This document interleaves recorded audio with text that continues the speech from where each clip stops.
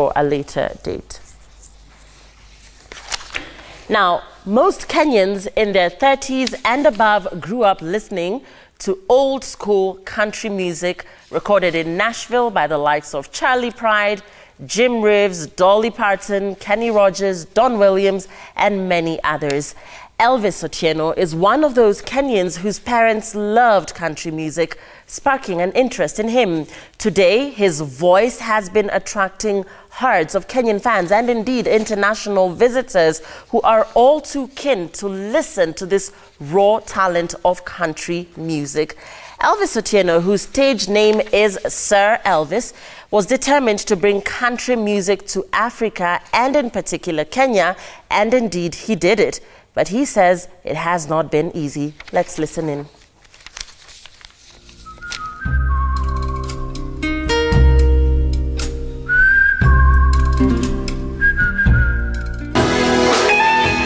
I've spent time in prison. My name is Sir Elvis, and I'm a country artist. I'm based in Nairobi. I love country music, and uh, we do a lot of country here.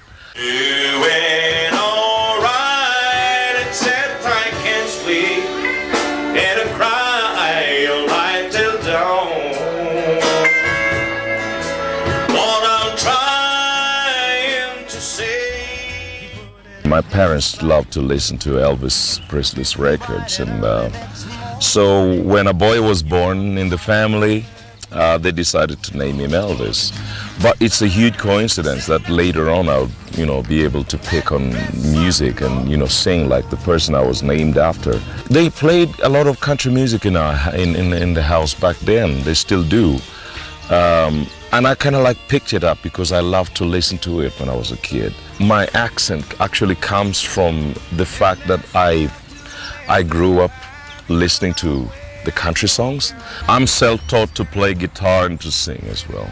Everything about me uh, has come uh, has come through because of my own curiosity. I decided to uh, start uh, singing country music professionally in Nairobi around 2003.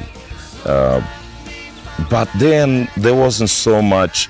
Yes, country music was popular, but not as it is right now. At some point, I questioned myself uh, if that was the right thing that I would do with myself in my life, uh, because I started out with a few people in front of me, probably maybe uh, five to ten people, who actually it started like people were curious about what what I was doing. I mean, they could listen to me. The voice was there, the music was there, but they were not very sure about this. Out of curiosity, many people kind of like started coming to where I'm, I'm having a show. Then, but I have to say, it took a very long time. That's one thing that I would take. or I'll, I'll tell all artists to, to take in that sometimes you might have the talent and you might have the platform, but it will take a lot of a lot of work that goes into it. When I'm on the stage, I try to give the raw feelings of my performance. Each and every song has its message, has its its its feeling around it, its mood. About you till broad daylight? You're saying this just ain't right. I was uh, sifting through uh, what I would do with my new single, "Loving Man," and uh, one of my friends in in uh, in my management team actually told me, "Hey, Elvis, I think it would be a good idea if uh, we could send out "Loving Man" in different places and, and see what what can come out of it." And boom, it didn't take long. Uh, the same month, we received an email from. Uh, International International Country Music uh, Festival.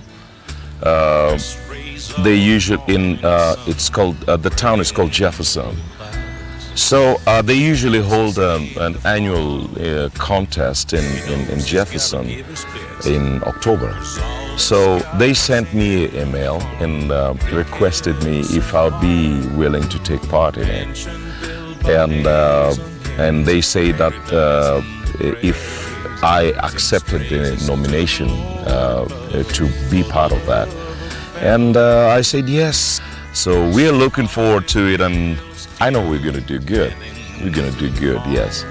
We have to try and grow country music and have a wider age group uh, into it. And I think God has been gracious because we managed to do that and we have younger uh, country fans. But I do believe that the authentic country music from, from the 50s, 60s, 70s, and 80s is going to be here for the next 50 or 100 years. It's going to be here.